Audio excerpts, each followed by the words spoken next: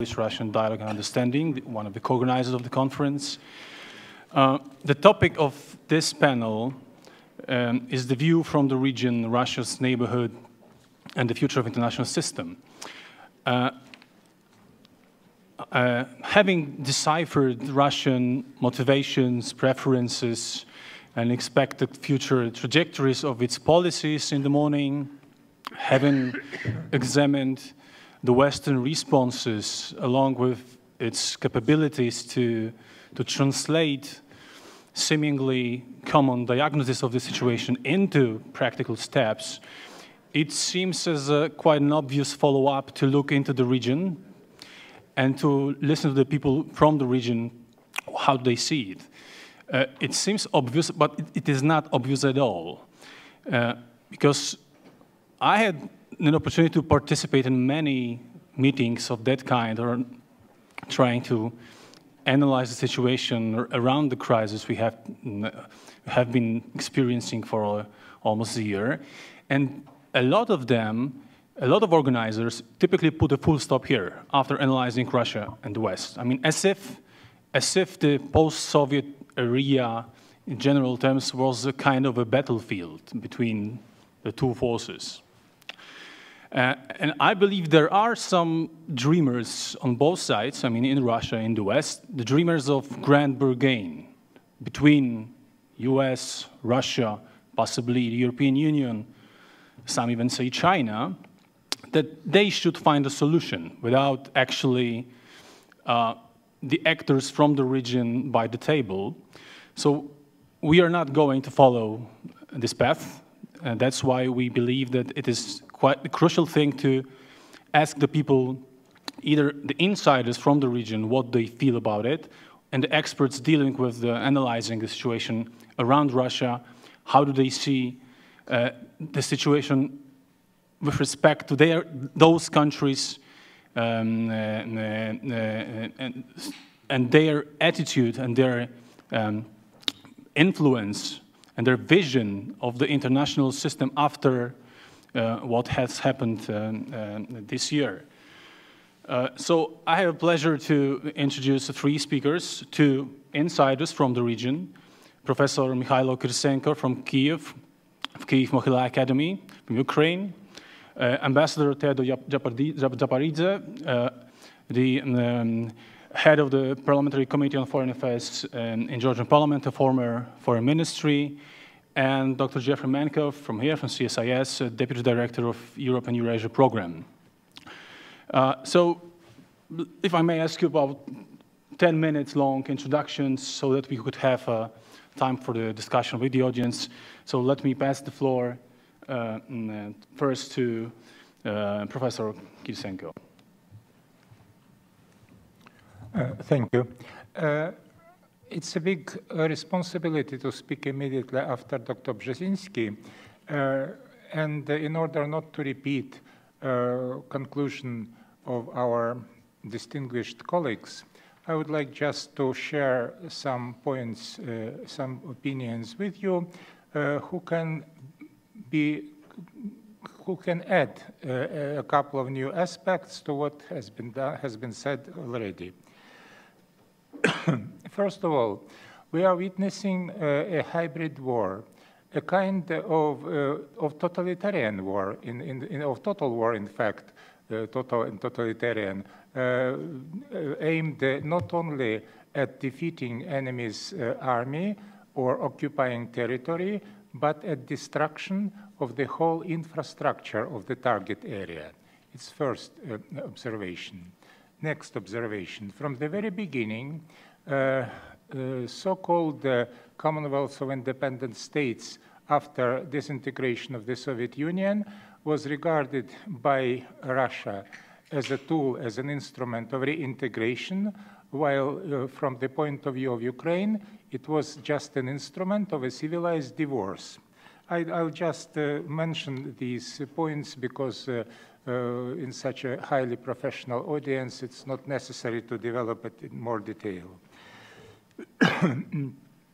uh, we are uh, now destined to regard events in the triangle uh, Poland, Russia, Ukraine, and uh, I'm glad to see that more and more uh, the West uh, begins to regard Ukraine not as a twin sister to Russia, but I do hope that very soon it will be regarded as a twin sister to Poland, as one of the largest, not the best one, of course, but the largest nations of East Central Europe.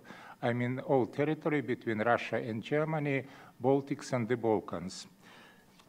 all nations of East Central Europe had appeared in self-determination after dissolution of such multinational empires, realms as Austria-Hungary, Russia, and Ottoman empires. Ukraine has had shared all but one a typical phenomenon of, of the regional development. The only exception was unprecedented genocide Holodomor aimed at repressive preventing resistance to the drastic communist transformation of the country. In the peacetime, it had destroyed in the interval period about 10 million lives or one third of Ukraine's population. The, the nation had been so exhausted and silenced uh, that it can explain us a lot of subsequent fatal slowness and inconsistency in its current development. Uh, perhaps uh, Galicia and Volhynia, being out of the Soviet Union in the interwar period, had been not touched by man-made famines, uh, though these regions had suffered hardly in cruel Soviet suppression of the guerrilla war. In both regions, in both uh, uh in Galicia and Volhynia, 25 years ago, the, Democrat, uh, the Democrats had, had won uh, the first comparatively free elections. After the Orange Maidan, over half of Ukraine followed this example, and dividing lines between Western and pro-Moscow trends coincided with borders of old Polish-Lithuanian Commonwealth. The Revolution of Dignity this year has resulted in unanimous support to new presidency oriented to the European Union and North Atlantic Alliance.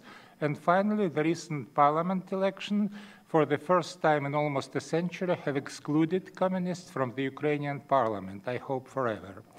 Deeply rooted in history, the mentality of national elites, as the Polish nobles and the Ukrainian Cossacks, to lesser degree of townspeople and peasants, had been based on individual ownership, elected uh, ruler as primus inter pares, uh, Magdeburg German city law, respect for legal procedure, and first of all, and most of all, mutual responsibilities of rulers and subjects in their rights and duties. These typical European civilization values sharply contradicted to the Moscow rural traditions of serfdom, communal property with land repartitions, collective responsibility, officials appointed from above, and the semi-divine charismatic Tsar, Secretary General, or President at the top of social pyramid. These two absolutely opposite Western and Oriental identities just could not peacefully coexist within the same structure. Poland and Ukraine had passed longer on, or briefer periods of national statehood prior to development as constituent parts of multinational uh, uh, entities. Uh, they were more than once repartitioned and subjugated by alien neighbors. Unlike Poland and Ukraine, Muscovy has never been a nation, but in the late Middle Ages had jumped uh, from a tiny principality uh, on the Mongol periphery to a polyethnic conglomerate of Turkic, Finno-Ugric, Mongol uh, tribes uh, colonized by Slavic settlers. The very name of Russia was acquired later in a desire to prove it, its imagined continuity from Kiev, or, or, or still more fantastic, uh, from Byzantium the Orthodox had to legitimize uh, these crazy claims uh, to regional and then to global hegemony. Without such an ideology and chauvinist quasi-spiritual mythology, the Russian Federation had lost any sense of existence, raison d'etre. The same happened with Austria-Hungary uh, when, when, when it proved to be not necessary anymore as a barrier against Turkish pressure on Europe, and failed to become a protector of small nations vis-à-vis pan-Germanic and pan-Slavic assimilative threats. The Habsburg monarchy had been painfully replaced with a network of sovereign nations. After the Second World War, Germany and Japan were forced uh, uh, by the victorious allies to the liberal democracy, resulting in their respective economic miracles. Unlike them, Russia, after its complete defeat in the Cold War, was not, not occupied by Americans and the revanchists have misused it for a dangerous attempt to restore the l'ancien regime. Uh, about 100 years ago, the white, Russian White Guard could not conclude an alliance with Joseph Pilsudski against the Soviets because Russian generals considered Poland just a part of their empire. For a similar reason, Moscow now is not able to recognize an independent nation of Ukraine. Its reintegration in Europe requires some time after genocide. The population in the southeast of Ukraine had been partly replaced with newcomers from elsewhere, whose offspring just needed time to identify themselves with the country, with their new homeland. It's a matter of so-called lance patriotism, adaptation to the old-fashioned folks patriotism. The phenomenon of Russian speakers defending Ukraine now against Russian invasion proves vanity of the Kremlin attempts at protecting Russian speakers speaking minorities in post-Soviet areas, comparable to, to, the, to, the, attempt of the Third Reich uh, to, to, protect Volksdeutsche abroad. Uh, every American knows that Washington is located in the east of the nation. But uh, used to call as Central Russia their country's extreme west. With Vladivostok as far east, we could find Russia's far west, somewhere close to Newfoundland, perhaps. This confusion in the people's mind means claims in Eastern Europe, and on the other hand, a subconscious feeling that behind the Urals there is no, not Russia properly. The intellectuals in Siberia still more often recollect in, in memory their, uh, the white and green colors of their short-lived autonomy about 100 years ago. The Asian Russia, quite self-sufficient and exploited by Moscow, is keeping loyal just because of neighboring with huge China. If Beijing one day finds some modus vivendi with Siberia, the Kremlin would not be able to hinder it. In the early 20th century, there were movements for Turkic cultural autonomy or a Tatar Bashkir state in the Russian Federation. The Muslim congresses tried to coordinate legislation. They had uh, educational, financial, and military, in even military uh, branches of social structures. Yet the republic in Kazan had been crushed by the Red Guard, national committees dissolved and banned. Uh, an idea of Urals and Volga reappeared after the USSR collapse, and anniversaries of the Kazan Khanate destruction by Muscovite in the 16th century are attracting still more numerous guests from all non-Russian uh, republics of the Russian Federation till now. Even in purely Russian regions of Novgorod and Tver, uh, we can see some, uh, some uh, nostalgia and some memory of what was committed by Muscovy to, to their uh, ancestors several centuries ago. So it seems to me we could not regard, uh, and we should not regard Russian Federation as the monolith. Uh, and uh, uh, if, if we regard it as a continuation of the Soviet Union, perhaps its destiny also will be, will be the continuation of the, of the, of the Soviet Union.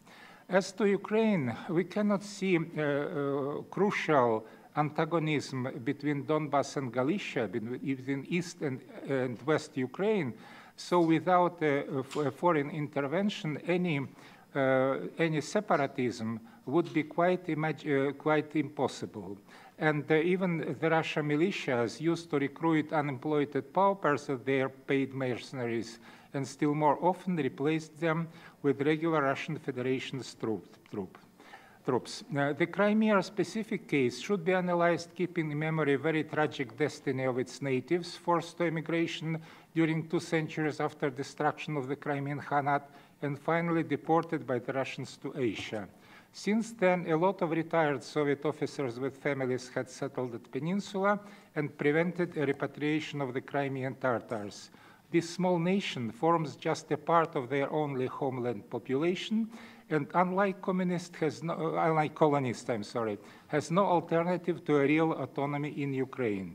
The Crimean dependence on water and energy supply make Russian expansion to continental areas inevitable after the peninsula annexation.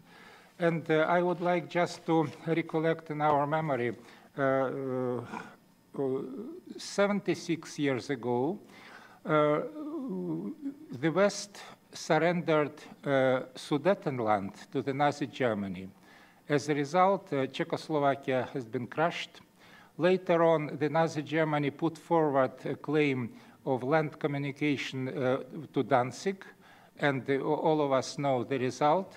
Now the same situation we could observe in Crimea, and now we are observing in Donbass because Russia is demanding uh, uh, land communication to Sebastopol, and if it is not stopped, it's, it's very difficult to, to preserve, to keep European, European uh, peace.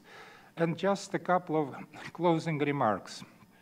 Uh, uh, so uh, unprecedented art artificial monster of so-called new Russia out of several Ukrainian regions has absolutely no prospect and is destined to defeat.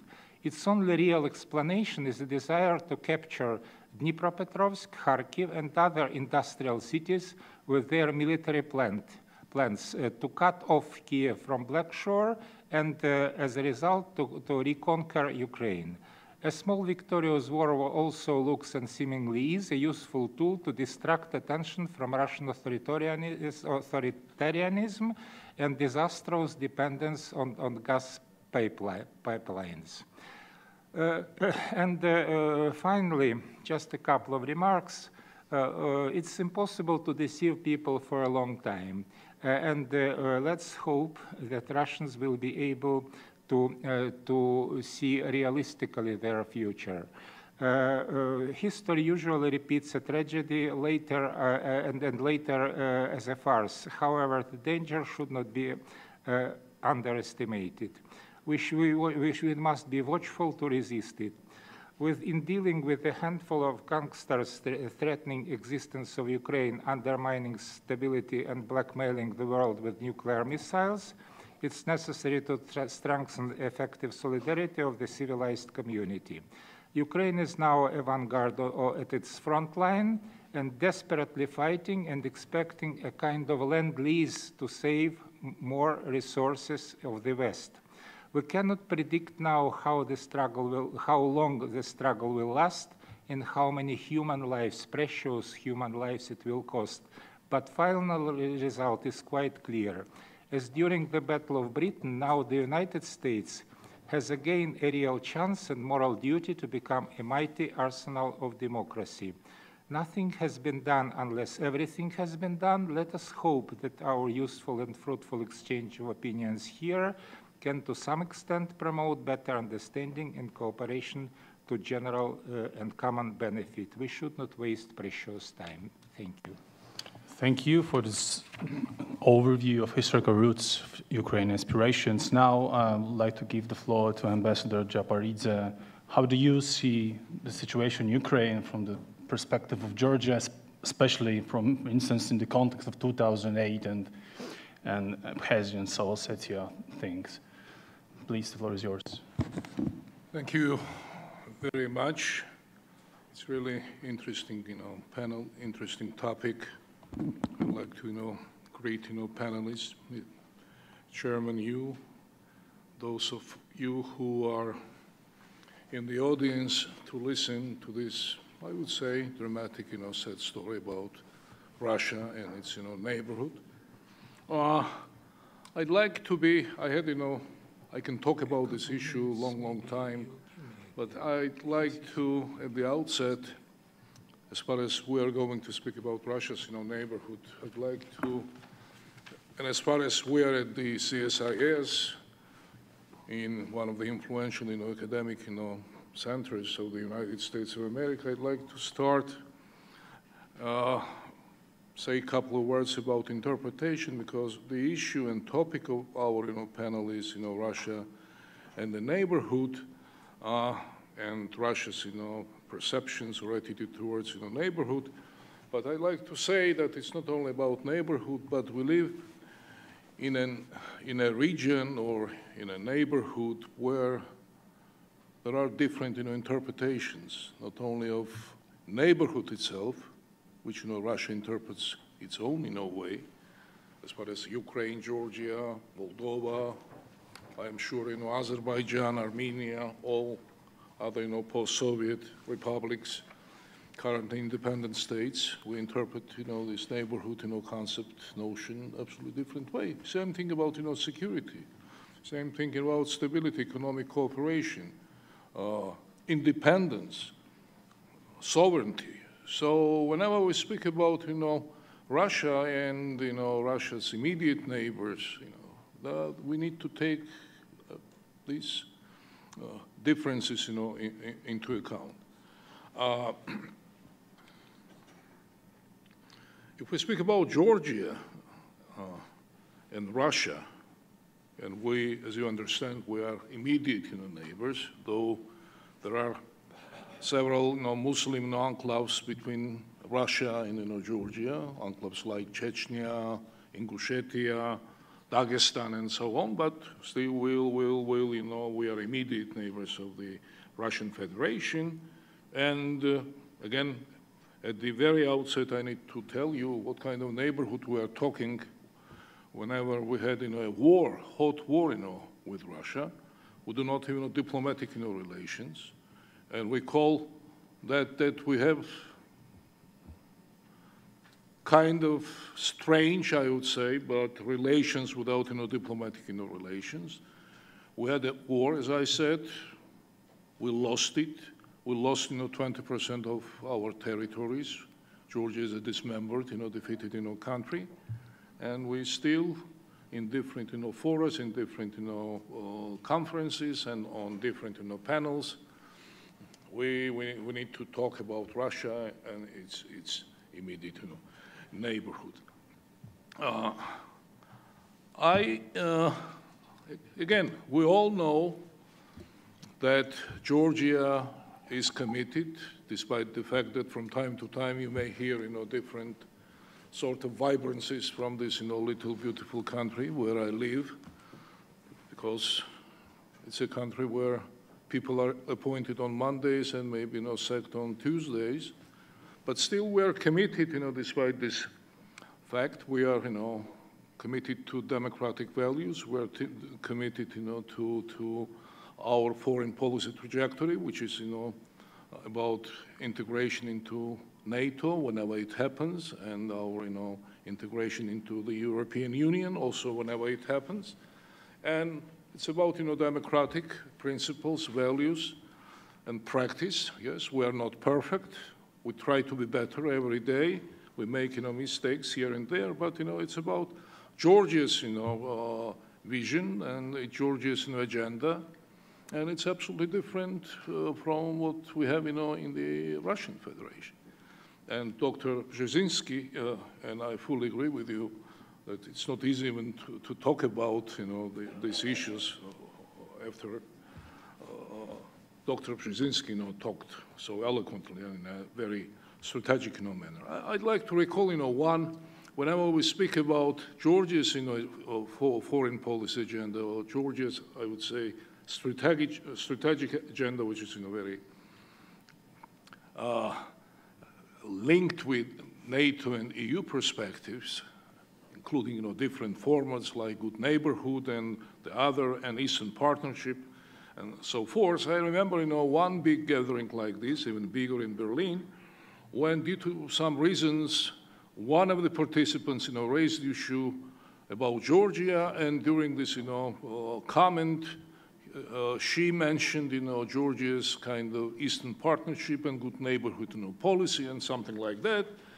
And there was a couple of Russians uh, in the audience, and they, you know, one of them, you know, made very, I would say, quite negative and very, uh, he got, you know, very much, you know, irritated over that, about, it was just about Georgia's uh, uh participation in the European Union's good neighborhood policy. And I raised my, uh, my hand. I posed the question in the presence of you know, close to uh, more than 100 participants. And I said, I can understand the reason of your irritation. My, I know him quite well. Maybe some of you know, know this uh, Russian also well. I understand the reason of your irritation, though I do not agree with you. But okay, you're irritated over Georgia's you know, aspiration to be part of the European Union, including this you know, I would say, not that uh, complex or very uh, important uh, format of good neighborhood policy, but again, where is your good neighborhood policy? Where is, you know, Russia's good neighborhood policy? And this Russian colleague of ours, you know, he looked around and he said, Russia does not have a good neighborhood policy and uh, Russia would not have this policy in the foreseeable future. So, and again, we are talking about Russia and, you know, it's, it's a neighborhood and, and that's, you know, the position of the Russian Federation. So I think we need, while talking about neighborhood policy, uh, I think we need to focus, and it's good to be here in Washington, and uh, I'd like to raise, you know, this issue specifically here, and uh, also to be heard, you know, by our European uh, partners and friends, and especially those who are from Central Europe and specifically from Poland, that, you know, we, uh, Russia's immediate neighborhood, at least, you know, those of us, you know, Georgians, uh, Ukrainians, Moldova, I would include also Azerbaijan, even Armenia, who are in so-called, you know, gray zone, because we want to join European and Euro-Atlantic, you know, structures. We understand we are realists, we are pragmatically oriented people. We understand it's a long, long, you know, term process. We do not want to go back where we uh, used to belong. We do not want to be part of this customs union or whatever formats you know Russian Russians have. And by the way, I do not know how they are going to implement customs union when they had this, you know, uh, kind of terrible, dramatic developments, you know, with Ukraine. But on the other hand, it's not only about Russia. We know Russia. We know Russia's policy, you know, for centuries. There is nothing new in that. But the question should be about Europe and the United States of America, and specifically, I, I think about Europeans, that what about, you know, these countries in this so-called, you know, gray zone? We cannot stay in this kind of, you know, suspended, you know, animation for a long, long time. We need, you know, clarity in this regard. Yes, we made publicly public statements about Georgia's, Ukraine's, or whatever European, Euro-Atlantic aspirations, but we need kind of, you know, practical decisions because we cannot stay in this, you know, kind of uh, as I say, suspended animation in a long, long time, and we need to know clarity where, when, how, and what we need to do, you know, when, and whenever it happens to join NATO or the European Union. And again, it's not kind of, you know, Georgian obsession that we want to be, you know, members of the, of, of the European Union or NATO, but I'd like to tell you, at least, you know, I don't know about Ukraine, but for Georgia, it's not about only membership, but it's about you know, Georgia's survival as a state. So we need the clarity uh, in this regard, and we do not need too many you know, messages from our you know, Western friends, mainly European, that on the uh, one hand we understand you know, Georgia's concerns, but on the other hand, you should take into account you know, Russia's you know, kind of you know, position in, in this regard. So again, we, we understand that. So please deliver to us, you know, clear-cut message. We are, you know, just naive. We are not, you know, just stupid. We understand messages, and we understand that also that, you know, this European Euro-Atlantic uh, process is a long-term now. The third point, and I'd like to uh, conclude with that, we, uh, at least you know, in Georgia, and I hope in Ukraine, we understand why West in general, Europeans or Americans, you know, need cooperative Russia. Russia is a cooperative partner. It's not about friendship, it's not about, and you know, each of you, I mean, Americans, Europeans, and in Europe, it's more, you know, diverse. They have different reasons, different interests. Uh, and for example, Americans have some security, you know, risks, challenges, and they need, you know, Russia to resolve, you know, these big, big, you know, security issues. European have, Europeans have their own, you know, agenda with them, and we understand that. You need, you know, at least, you know, cooperative Russia, more or less stable. It's not about democracy, but it's about, you know, partnership. But my me message would be, and I, am really very much delighted to be here, that, uh, my dear friends, you would never have this kind of Russia, a cooperative partner, until Russia does not settle its, you know, relationship with its, their, you know, immediate neighbor, neighbors. And until Russia does not recognize that Ukraine should be now independent and sovereign, as well as Georgia, Armenia, Azerbaijan, and they need to deal with this reality.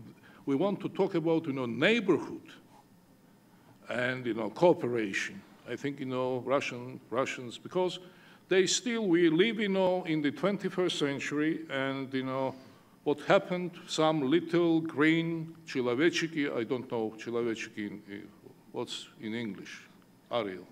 Little green man. Little green man, you know, just redrafted the territory and you know landscape of a sovereign country, and we we're making you know strong statements. We're making you know different kind of you know uh, political uh, steps, but but again that's the reality. So uh, again, we know we all need to know Russia. We need we all need to know stable, peaceful, you know Russia, economically engaged with Europe, but on the other hand, reality is that we have whatever we have in Russia. We have, you know, Putin, and we do not know he's, you know, whether he's, you know, president, whether he's, you know, Tsar, whether he's, you know, national leader, and you know that, you know, people, and we deal not only with personalities, but we deal with a country where, you know, population prefers to uh, freedom and independence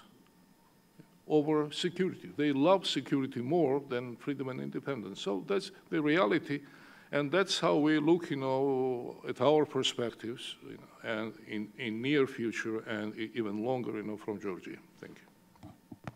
Thank you for your observations. Now the floor goes to Jeffrey Mankoff. How do you see the region in the context of current situation? Thank you. Um, of course, I'm in the unenviable position not only of being on the panel that follows Dr. Brzezinski, but also of being the last thing that stands between you and getting out into a cold DC afternoon and DC traffic. Um, so nevertheless, I've been asked to talk um, about the perspective from the region, from the neighborhood. Um, as Ernest said, I am from the Russia and Eurasia program here at CSIS. Um, and I think that term Eurasia is one that we should probably bring into the discussion because a lot of what is happening in and around Ukraine really turns on this question of Eurasia. Um, what is it and what is it becoming? Uh, of course, there are different definitions of Eurasia. There are different conceptions of what that term describes, and certainly Mr. Putin has one idea, but I don't think that it's the only one. Um, if anything, since the collapse of the Soviet Union, Eurasia has become more multipolar. It has seen the development of new trade, economic, investment, political relationships among various states in the post-Soviet region and other uh, countries that geographically are located on the Eurasian continent, from west to east. Um, so now you have pipelines connecting Azerbaijan, Georgia, and Turkey. You have a pipeline connecting Turkmenistan to China to the extent that China now buys more gas from Turkmenistan than Russia does. You had, in addition to Ukraine, Moldova and Georgia seeking to sign association agreements and and comprehensive free trade agreements with the European Union um, this proliferation of ties beyond the borders of the former Soviet Union is in part a natural market-driven development since the monopoly on uh, connections that was imposed by the Soviet Union no longer exists. But there's more to it than that. In part, it's the result of Russia's own inability to develop as an attractive pole uh, of attraction for its post-colonial neighbors. Um, they're dissatisfied with the offers, with the bargains that they're being offered from Russia and sought to diversify their ties, uh, in part to take advantage of better economic conditions, but in part also to hedge uh, their political dependence on Russia. Uh, this was a strategy that was pursued not only by Ukraine, but by the majority of Russia's post-Soviet neighbors. And in response to developments in Ukraine over the last year plus, um, all of these neighbors have been put in a much more difficult position. Um, this policy of seeking good relations in multiple directions, of pursuing a multi-vectoral foreign policy, has become much more difficult. Um, in response, of course, Russia has pursued its own vision of Eurasian integration. And this is a vision of Eurasia that is mostly a closed one, that's concentrated on tying the post-Soviet republics uh, more closely together under some form of Russian leadership uh, and making it more difficult for them to proliferate economic, political, and other ties uh, outside the borders of the former Soviet Union. And so for the countries of Eastern Europe, the South Caucasus, and Central Asia, the attitude towards this notion of Russian-led integration is in a lot of ways the most important question that they face in the aftermath of the Ukrainian crisis, uh, which broke out, of course, as part of a struggle over whether or not Ukraine uh, itself would participate in this integration process.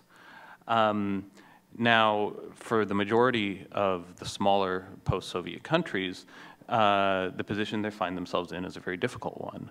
Uh, their vulnerability to Russian inducements and Russian pressure remains very substantial, although it varies uh, across the region. Um, for one thing, the ideological and political doctrine that the Kremlin has advanced since uh, certainly Putin's return to the Kremlin in 2012, uh, if not before, is one that fundamentally questions the legitimacy and the viability of many of these states. Uh, we've heard from some of the earlier panelists uh, about the new Russian approach to uh, the international system, one that privileges ethnicity over sovereignty.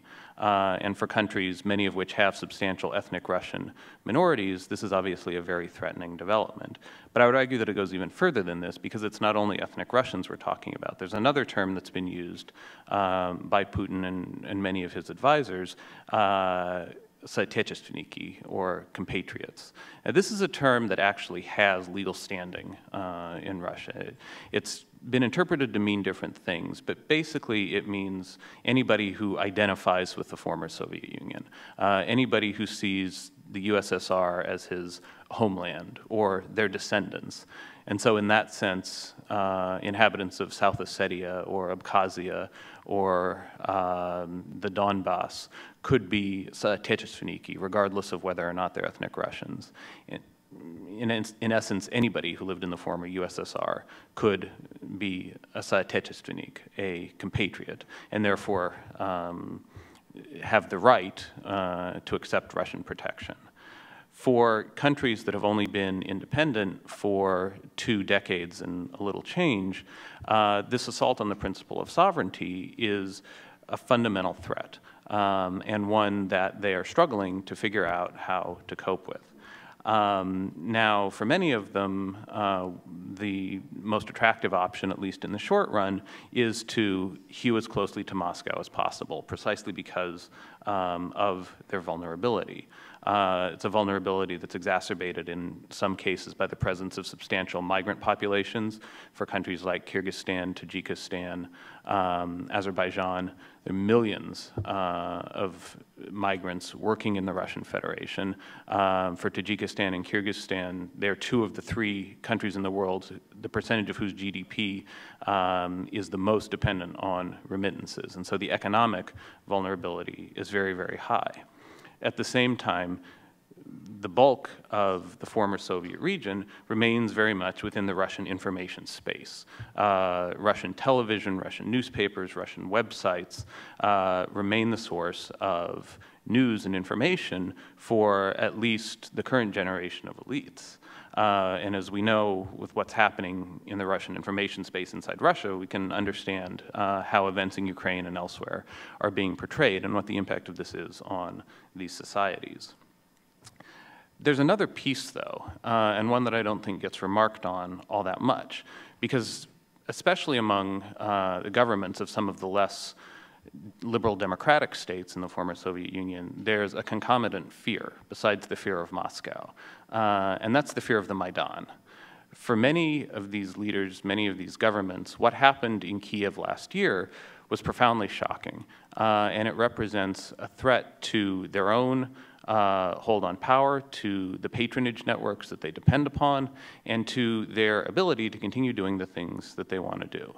Uh, and so in the short term, in a lot of these countries, there's been uh, an effort to crack down, one that, uh, in contrast to the West, Moscow is not particularly alarmed by and is willing to go along with.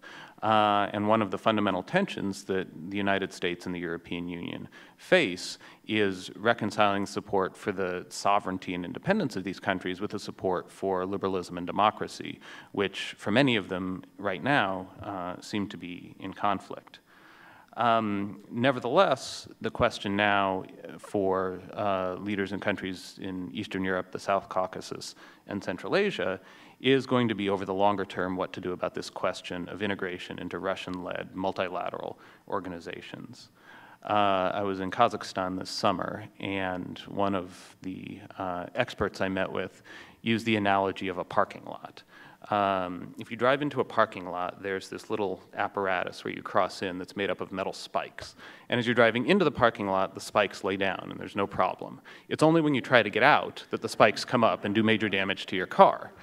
Um, and this was the analogy that my interlocutor was using to describe the customs union and the Eurasian Economic Union. You can check out anytime you like, but you can never leave. Um, that being the case, um, the aftermath of events in Ukraine have led elites in many of these countries to see membership in these Russian-led uh, integration organizations as at least as far as their short-term survival goes, uh, something that ought to be pursued, simply because they don't have a lot of great alternatives. Uh, they look around at what's happening elsewhere in the world, and there's a lot of depression that sets in. Um, particularly in Central Asia, there's the perception that the U.S. and its allies are withdrawing from Afghanistan. They're turning their face away from Central Asia, which has been on the front lines of that conflict for the last decade. If the United States is going away, the best thing to do is make our peace with Russian domination, at least for now. Moreover, the economic crisis, uh, which I think plays a very fundamental role in the Russian calculation, also affects the way that elites in these other countries view their options. Um, as we read now about the possibility uh, of a Grexit popping up again, uh, the potential for continued economic stagnation in Europe, the prospect of the European Union and even the United States doing more, spending more resources, getting more involved uh, in this part of the world looks to be rather far off for many of the people on the ground.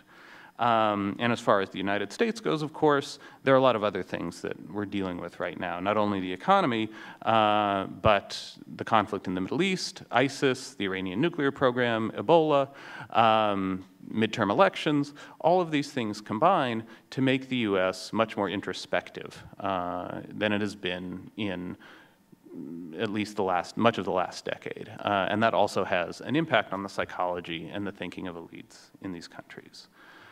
Um, so, of course, the answer is not going to be the same. Um, a country like Georgia is going to continue, I think, to resist uh, integration as much as possible.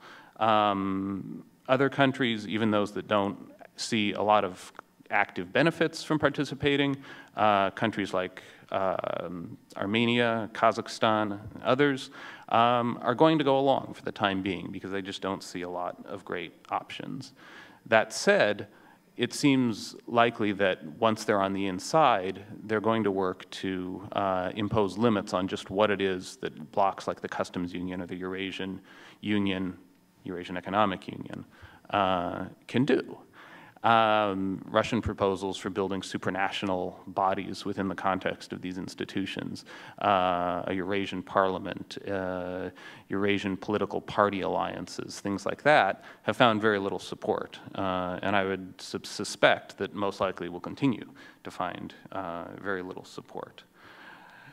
Nevertheless, uh, this is a region that's going to be in flux for a long time uh, to come traveling around and talking to people in the South Caucasus and Central Asia, the message I heard again and again was that people in these countries would like to see greater engagement, greater presence from the West, from, particularly from the United States. And what kind of presence that is can be up for negotiation. Certainly, more investment is something that all would welcome. Uh, all would welcome deeper um, political investment uh, greater high level interest in what's happening, and in some cases, even greater security ties. Um, I don't think there's a single answer for how this kind of engagement can be done. I don't think there's a single template that's going to be applicable to all of these countries, which in many ways are very, very different. And since the collapse of the Soviet Union, have only become more different. Um, but nevertheless, even though right now the center of attention is very much on what's happening in Ukraine, this is a much bigger question. It's one that has implications for not only what kind of a relationship we want with Russia, but also what kind of a Eurasia we're going to build. Because, like it or not, there is a new Eurasia that's coming into being. And our commitment and our engagement uh, with those other countries is going to say a lot about what kind of a Eurasia and what kind of a Russia we're going to be dealing with for the decades to come. Thank you for this excellent analysis of Russian leverages and vulnerabilities of the countries around and the clear statement that the neighborhood is very diverse, actually, around Russia.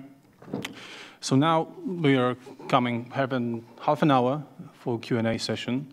So please raise your hands. Uh, uh, Sergey, first, let me use also my own uh, position and ask one question to the whole, to the panel um, at the very beginning. Since we all are just talking about uh, how the West should help uh, the region, the Ukraine for now, but the whole region, the whole post-Soviet area.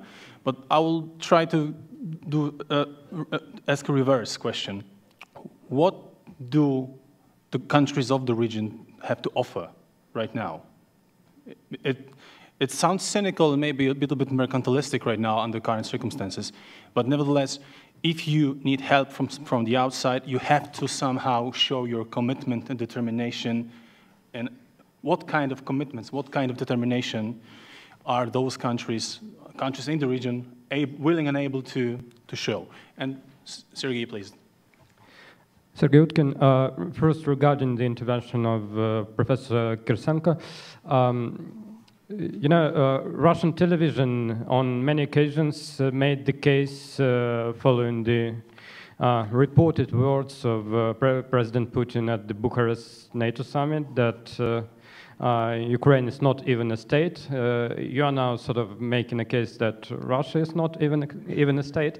Uh, well, my opinion is that both actually may continue existing in, in, in the present borders, and we can resolve these uh, hard issues that exist. Uh, but I agree that at some point, uh, Russia may actually face kind of challenges of staying as it is as a country, and this is just another reason for not playing with the fire in, in, in Ukraine. but at this point in time, uh, it is Ukraine that has to uh, resolve those challenges, uh, especially in the east of the country. Uh, so when you were speaking about mentality, about the differences in mentality, uh, a number of uh, Ukrainian researchers even before the crisis, were underlining that in the east of Ukraine, you have a widely spread uh, Soviet mentality, as they put it. Uh, people who had much more in common with uh, uh the Russian space than with the Ukrainian space. And uh, currently, even as the rebel movement, movement have been instigated and supported by Russia, you have a lot of Ukrainian citizens involved in that, or supporting it tacitly. Uh, and the question, uh, a difficult question for a Ukrainian government right now, is uh, how to get those people on their side. Uh, there was a proposal integrated in the Minsk agreement that, that there should be an amnesty, there should be this uh, law on uh, special uh, regulations for municipal uh, government in those areas. But now it seems to be in the past already, at least Poroshenko and his people say that they will not continue with that, seeing that rebels do not respond. so what's your opinion? What, should be the Ukrainian state policies in order to appeal the people in the Donbass and uh, uh, re reach out to them, probably over the heads of those who um, seem to control the rebel movement. and in question to Ambassador Japaridze, you know, uh, with the, uh, the importance of uh, the, with the importance of uh, um, the issues of uh, being integrated in the West or in developing relations with Russia, uh, we actually see in the last several months at least significant growth in You Russians or uh, you? The, the, those who monitor uh, the situation in and around Georgia, we, we, we see uh, that, that uh, in the uh, last several months, probably a year, there was an, uh, a significant growth in trade between Russia and Georgia. Well, just according to the statistics, I mean. Uh, and there are uh, some proposals on the table on how to proceed with that. Uh, there is an idea of uh, a railroad through Abkhazia. There is an idea of a new road that would connect uh, uh, Dagestan to Georgia. and some people think that this is just another opportunity for Georgia to develop. And others said that this might be a security concern. Uh, so what's your opinion? Do you think that uh, Georgia must go this way of uh, uh, developing trade relations with Russia further, or you think it's uh, dangerous and uh, can rather be avoided? James?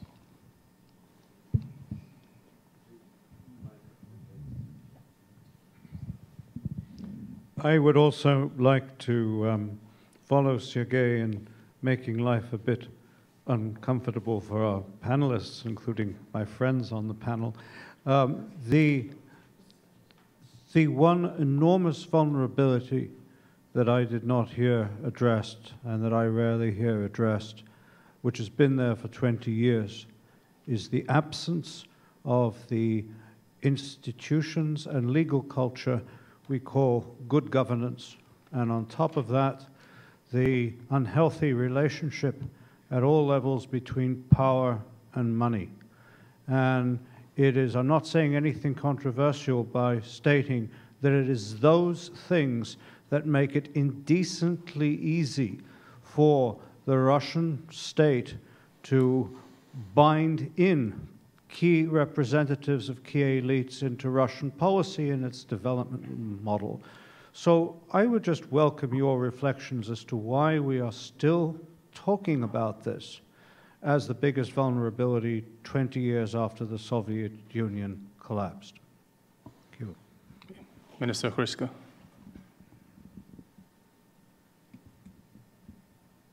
Thank you. I would like to promptly react to what Mr. Utkin just said. Uh, I have probably a very short answer to your very long question please uh, withdraw Russian troops and Russian guerrillas from the Donbass region, and in two weeks everything will be very quiet and peaceful. Thank you. Are there any more questions for now? So I'd like to ask uh, uh, Mr. Wyciszkiewicz to describe um, the, um, what's on the agenda of the um, dialogue uh, for of, of the Dialogue for Understanding, the Polish-Russian Dialogue and Understanding uh, group, what your agenda might be. Okay, I'm, I'm just a moderator. That, that was supposed to be my function. Nevertheless, if you have a minute or so, I can elaborate a bit on the topic. But first, the questions should go to the panelists as the heroes of the day. Um, okay, so now the, the, first round of, of responses, please. Uh, be brief. Uh, thank you, Sergey. Uh, Maidan in Kiev was the only place in the world uh, where the people were struggling and dying under the European flag with 12 golden stars. Uh, the people from every part of Ukraine, from Crimea, from Donbass, and so on. Russian speakers, Ukrainian speakers, Polish speakers, Hungarian speakers, I know it from my own experience.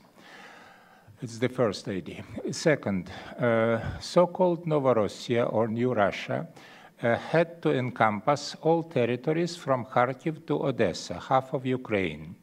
In fact, it, was, uh, it, it, it, could be partly and temporarily successful only in those small districts which were occupied by the Russian uh, troops and cut off any alternative channels of information from Kiev in order that the people could compare.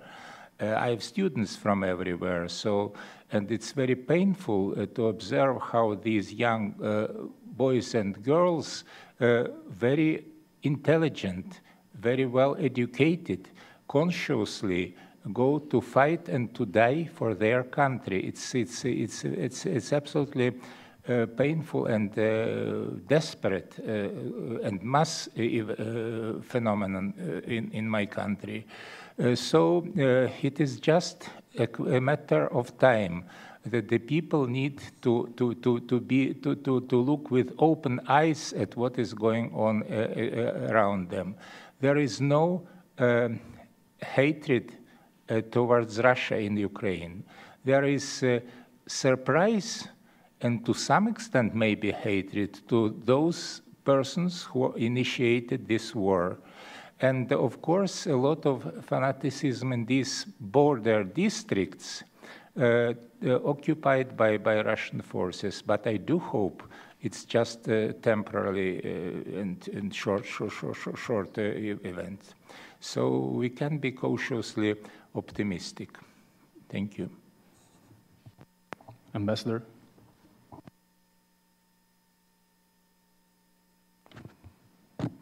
Thank you very much, uh, Mr. Chairman. I'd like to start with your question. Of course, you know, we are talking about the West and what Georgia wants to receive you know, from the West, the United States of America. And your question was, you know, what Georgians or just post-Soviet, you know, republics are going to offer to the West. Uh, again, uh, whenever we speak about, you know, Georgia, and I'll speak about my own, you know, country nature, man. Of course, uh, and help or assistance from United States or Europe or, of course, first of all, we appreciate that whatever been, you know, we re, uh, received from, from the Western community, specifically from the United States of America, and there is an even saying in Georgia that if Georgia survived for these 23 years of independence, it's because of this assistance. But again, you know, I fully, I uh, fully understand, you know, this message for, from you and the content, content of your, of your, you know, question. Of course, you know, Georgia should help itself, you know, first of all. And uh, what we can offer, you know, to you is a stable and democratic, you know, Georgia. Georgia, which would, you know, country of institutionalized democracy, you know, rule of law, of, you know, real, you know, justice, uh, good governance, as, you know, Jamie, you know, just admitted, because not only Ukrainians, but including, you know, Georgians were running this, you know, vicious circle of good governance, you know, trying to find out where this good governance is, almost, you know, 20, 20 more years since, since our, our, independence. So that's what Georgia can you know, offer to the West, stability, democracy in this part of the world. And again, you know, Georgia has certain, you know, functional, you know, perspectives as, you know, energy security, transit, and other, other, you know, issues, and geography, its location. So, but, but again, you know, Georgia should become, first of all, and we are on the way. It's not easy. You, you understand. It never happens, you know, in one day or in one year. But I'd like to ricochet, you know, back the question you, you just posed about that, and, you know, Heather and I talked about what we would appreciate also from the Western community and specifically from Americans is that there was, you know, uh, on the previous uh, panel, one of the panelists admitted, you know, that, that there is, you know, huge amount of, you know, sympathy, there is huge amount of, you know, good, strong, you know, statements. So what we expect, you know, from our Western, you know, friends is uh, some solid policy towards, you know, post-Soviet space. There is no policy. You know. We are still instruments in different kind of, you know, gambits and, you know, whatever formats between Russia and the US or the West in general. So we would appreciate some clear-cut policy towards Georgia, clear-cut policy towards Ukraine, uh, and then, then uh, I think you know we, we deserve to have you know certain. We understand that, for example, Georgia is not the significant top-level priority, uh, for Americans, but at, at, the same time, we, we need, you know, a certain amount of policy you know, toward Georgia. If we speak about Georgia, Russia, uh, you're there. For the first time, Russia is hiding away, which is, it not happen.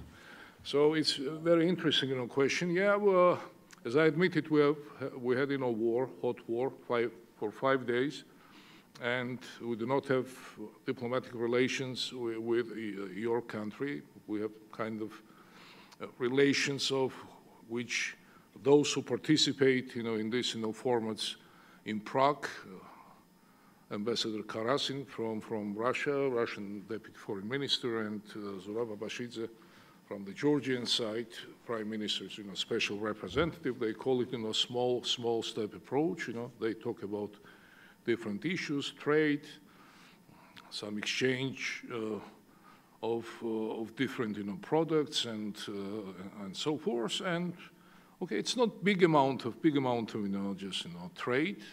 I wouldn't say, you know, that way, but things, positive things you know, are going on. But again, what, what matters, you know, uh, for us, and I would appreciate if you get back, you know, this message, you know, from, from at least, you know, one Georgian, one bleeding heart, you know, Georgian sitting over here is, you know, that we're still occupied country by Russia. We're, that's, you know, Georgia's in a position, and there are, you know, red lines in our relations. So, okay, there is nothing bad, you know, to, to open a railway but, you know, we need to resolve uh, some other, you know, no less important issues before we go. And, uh, okay, let's work on these issues. I understand these are not, you know, easy issues. These are very sensitive, delicate,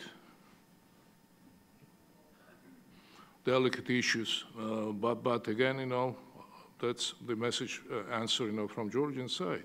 We need to deal, first of all, with these red line issues and try to resolve that. So that's my answer. Jeff, would you like to comment? Sure. Let me just touch on that for a second, and then I'll, I'll take a stab at James Sherr's question. Um, all of the countries in the former Soviet Union, apart from Russia, um, it's natural that they have and need to have some kind of a relationship with Russia. Um, Russia is there. There are legacy connections that continue to exist. In a lot of cases, Russia is the most natural market um, that these countries have for whatever it is that they produce. Um, and so there's a balance that has to be struck, and this is true of Georgia as of all of the others, um, between getting the benefits from maintaining that relationship and avoiding or at least limiting as much as possible the vulnerabilities that come with it. Um, heard when I was in Georgia recently that um, after the embargo on Georgian wine had been ended, now uh, about 70% of Georgia's wine exports go uh, to Russia again. Uh, and there's a debate among uh, Georgian wine producers and, and, others whether this is a good thing or not. Um, for some, it's, it's great that the market is back, uh, and for others, this is a source of vulnerability. Um, I think the challenge is, you know, how can you ensure that countries like Georgia and the others have the best of both worlds? Um, how they can continue trading with and having you know political and, and other kinds of relationships with Russia, but not be so dependent on those relationships to the point that it constrains their sovereignty. And that's one of the real concerns when it comes to institutions like the customs union, the, the Eurasian, whatever it is, union, um, is what impact will those, will participation in those institutions have on the actual de facto sovereignty um, of the member countries. Um, on this issue of institutions, I mean, this is a huge, huge question. Um, not all 12 of the post-Soviet countries came into the world uh, in the same place. Some had much more historical experience uh, than others, but all of them came out of uh, a particular political culture, uh, which included institutions that they inherited from the Soviet Union, uh, and in a lot of cases, elites that they inherited from the Soviet Union, who uh, in some cases are still there. Um, it's been, I think, a mixed bag, but there is a very particular post-Soviet political and institutional culture uh, that exists across a lot of these countries. I think Georgia has been very striking in its ability to um, make fundamental institutional changes uh, to help break that legacy. But it hasn't been easy. Uh, it hasn't been complete, even in Georgia. And in many of the other countries, it hasn't really happened uh, at all. Uh, I'm not sure that there's a panacea uh, in terms of how you actually do it. Um, certainly, to the extent that leaders in these countries want greater engagement from the West, want greater investment in particular from the West, the absence of functional institutions is one of the greatest obstacles that they face. I think a lot of them have a fundamental misunderstanding about this. It's not enough to simply go to Washington and say, please bring us American investment. Uh, you actually have to do things to make a, an investment climate where privately held companies are going to want to risk their money uh, in your country. And until that happens, I think there's going to be um, a, a, problem here. Um, the more uh, value that elites in these countries put on economic and political relations with the West, I think the more leverage that gives uh, the West to push for these kind of, of fundamental institutional changes, but I don't pretend that it's going to be easy. Thank you. Just not, not to forget, uh, uh, somebody know during previous panel uh, was talking about the capacity of the West to react, you know, appropriately, and I don't remember which one, but of the participants there, he admitted that you know, West, when they talked about Ukraine, that Western community, Western decision makers, you know, they, they need, you know, a certain amount of time to react, and he metaphorically used that something happens in Ukraine, you know, let's say on Monday, and there is no way for the Western community to react, take decisions on Tuesday because they need, you know, time, they need, you know, some certain amount of time to, to consult with each other and so on and so on. And that may be uh, true, speaking about how to react to, to, to, to, Russian, you know, whatever Russians were doing, are doing, you know, in Ukraine. But in this regard, you know, instantly as a Georgian, you know, the, um, uh, there is uh, one interesting, you know, uh, uh small question, you know, from uh, small answer, you know, from my side. But I think the Western community, including, you know, I think it was, you know, Polish representative. I, I do not see him, you know, here you have enough time because what Russians did in 2008, had you reacted in accordingly, no, I think you know Russia could have done different way this year or when it happened in Ukraine. So you had much time to analyze, you know, Russia's capacity in this regard. So that's why I, whenever I'm not critical about the West, I cannot be critical, but again, you know, sometimes it's time to, to, to also, you know, to speak in a, in a very clear-cut way and call a spade a bloody shovel, say. Thank you. We have, oh, one first here, gentleman over there, and then two other questions. Please. Thank, thanks very much. Building on Zbigniew Brzezinski's idea for, for Finlandization of Ukraine and using Ukraine as a bridge between Europe and the West on the one hand and Russia on the other hand. To what extent do you think it would be possible to reconcile um, the association agreement with Europe and this Eurasian Economic Union? So two questions. A, could it technically be done so that Ukraine could both be a member or uh, ratify and implement the association agreement and participate in some way in the economic um, uh, union, the Eurasian Economic Union? And B, if you could technically do it, would it make a difference in Russian policy?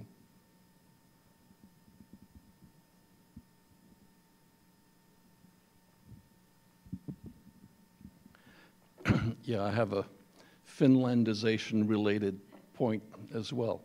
Uh, I was kind of struck by uh, Dr. Brzezinski's uh, uh argument uh, concerning Crimea that with 12,000 Ukrainian troops present, not a shot was fired, and therefore that's a basis for us to write off Crimea, because if Ukraine wouldn't defend that territory, why should anyone else? Uh, and then that kind of leads you to the Finlandization of Ukraine argument from there. Uh, well, I, first, I'd, I'd, like to make the point that one of the reasons no shots were fired was the tremendous pressure that interim Ukrainian government was, was placed under by the United States, by Germany, by, the, by Britain, by the EU to not fire so as not to provoke an armed invasion. That didn't get Ukraine very far. So much for that kind of appeasement from us towards Russia. Got us Donbass subsequently. So that's not a, a great strategy, uh, as, as history has proven, recent history. Uh,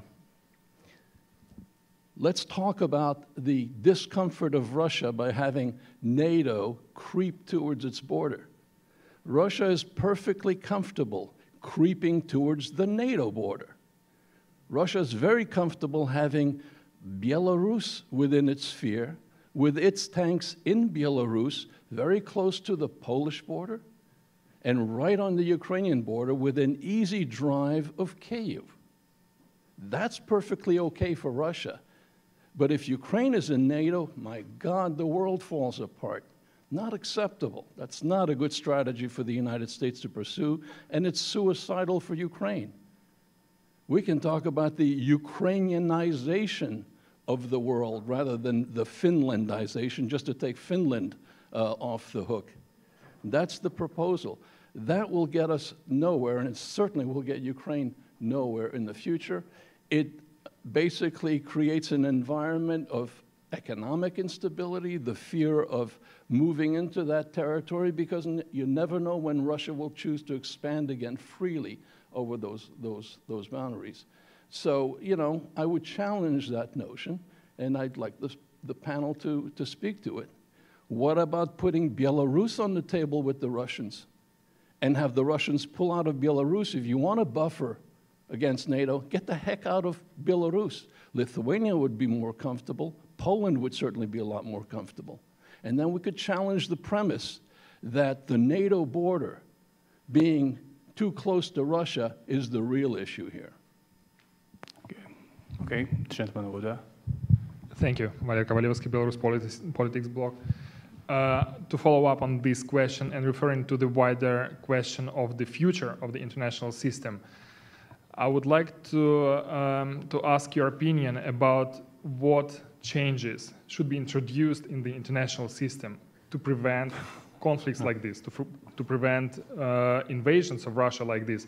Russia fought wars before with Georgia. Uh, it, it's fighting now with Ukraine. It will fight further wars with its neighbors or with those who, who are not in content with its policies, with its self-assumed sphere of privileged interests.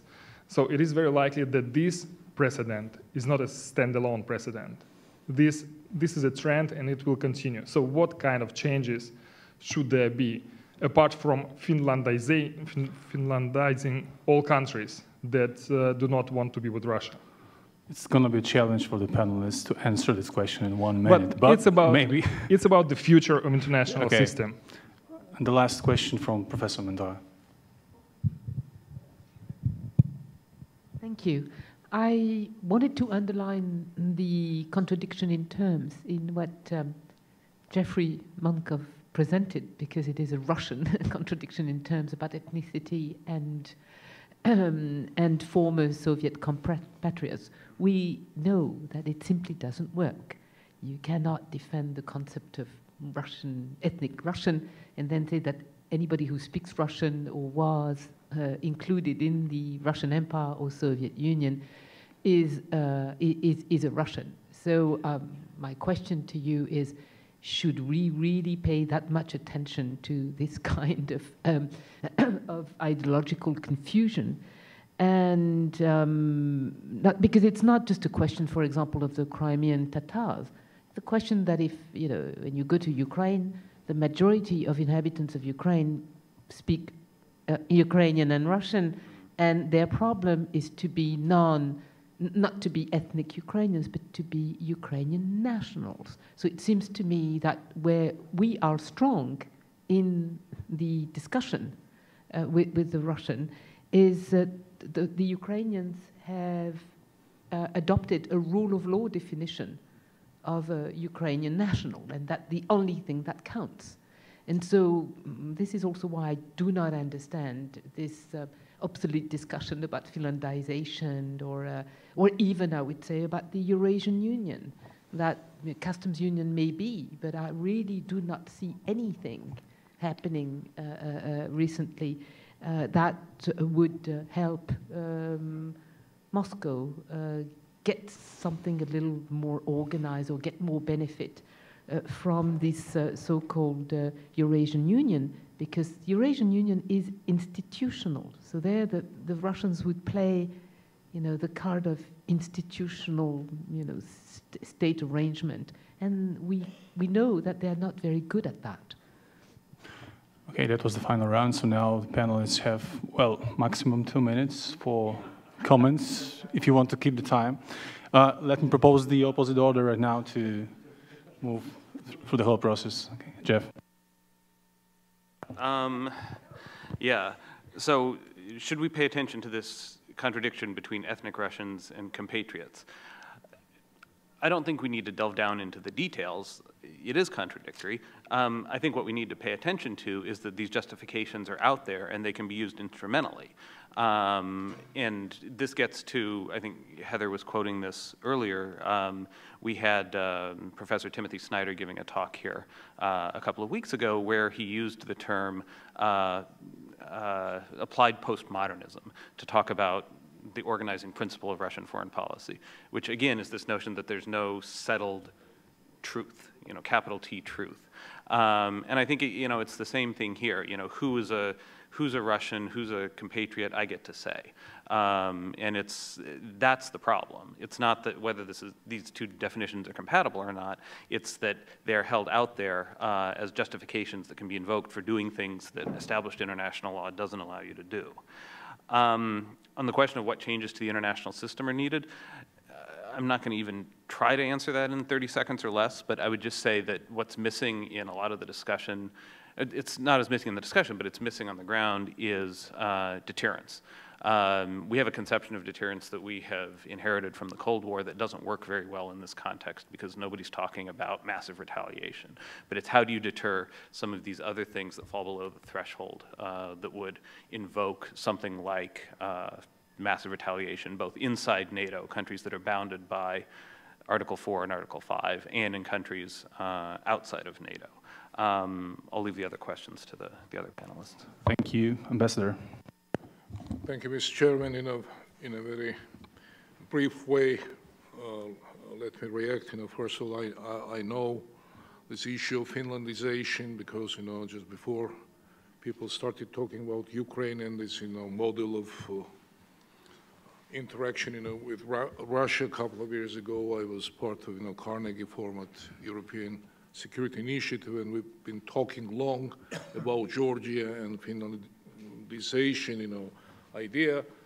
I think, you know, sounds good, uh, but it's good for, for Finland because it's, and I heard that about my uh, Finnish, you know, friends, but it's different history, different kind of relations, and they had themselves, you know, Finns, big, big, you know, doubt that you know Finlandization as a model would fit, for example, a country like Georgia because it's absolutely different environment, different history, different you know, different Russia, and Russia, Russian, uh, Finland, you know, re uh, relations and you know Georgian, you know, Russian relations are absolutely you know different, different category of fish. Uh, but speaking about models and having here uh, our Pope uh, friends from Poland, I, I would, you know, just humbly, you know, deliver this message, you know, to them that I think, you know, Central Europeans should play, you know, a very special role in, in this, in our part of the world, in uh, the world which is not, you know, which is close to the NATO uh, European Union space, but countries which are, as I, as I, as I said, you know, in my intervention, you know, countries that happen to be in gray zone. And I think as far as you are here, dear friends from Poland, I think Poland has, you know, special mission being uh, in NATO, being, you know, in the European Union. Uh, you have, you know, special, special role, special function to take care of your own security. It's not only Georgia's or Ukrainian security, but it's about also, you know, your security. And Poland was you know, very much you know, visible in the couple of years ago. Now you, a bit you know, disappeared. I don't know the reasons. There are different reasons for that, but I think Central Europe, a frontline you know, states, Baltic states, of course, and if you know Finland makes decision, we welcome Finland also in, in, in this loop. Regarding association agreement, and Georgia has you know this unique opportunity to have you know direct interaction with the European Union, but it's not about only Georgia, European Union, as I said, it's long, long, you know, term, you know, let's say, you know, project, but it's unique opportunity for Georgia, uh, uh, James.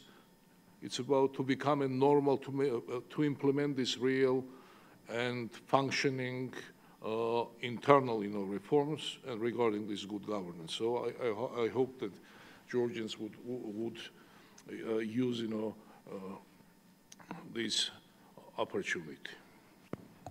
Uh, three brief considerations. First, uh, 200 years ago, English-speaking Americans and 100 years ago, English-speaking Irish didn't like British Empire too much. Uh, second, uh, percentage of Russian schools in Ukraine is higher than the, much higher than percentage of ethnic Russian minority there is no Ukrainian school in Russian Federation, in spite of the fact there is several million of Ukrainians there. Next, um, unlike Georgians, unlike Finns, unlike Poles, the Ukrainians were persecuted just for using native language. And now uh, in, in, in, in, the Crimea, yeah, and now, I'm sorry. Uh, and now in the Crimea and in occupied, uh, uh, occupied districts of Donbass, uh, Ukrainian speakers are risking their lives and a lot of them disappear for speaking native language. I don't comment it, it's quite clear. So uh, Ukraine is, and on the other hand, you, Russian speakers of Ukraine proved to be very good patriots defending Ukraine's independence. Uh, so it is very conscious choice. It's not a choice of native language.